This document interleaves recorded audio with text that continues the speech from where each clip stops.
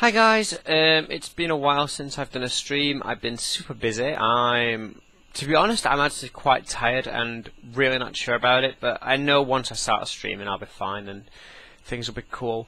Um, so yeah, 6 p.m. start time, and be sure to be there. Um, I'm not sure what game to play. I,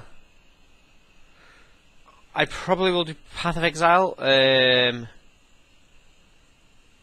I'm not sure if I'll be by myself or with Monkey Socks. It depends if they're there at six. No, myself, Monkey Socks, or Honcho. They were the people playing last time. I'm not sure if they're there. Um, if they're there at six, I might play.